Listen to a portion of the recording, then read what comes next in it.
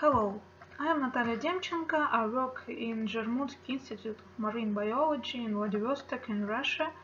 I studied an amphipod crustacean of the Sakhalin Shelf in Siberia with a team of Russian and US scientists.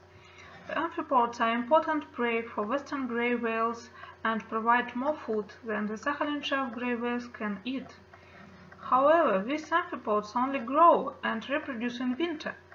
Then the ocean is covered by ice. Since ice is important for these amphipods, ice is important for whales too.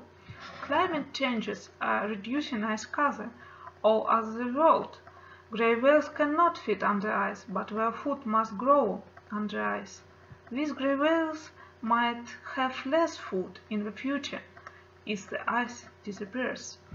You can read about this research and see a picture of the amphipod in our article published in open access in journal ONE. Thank you.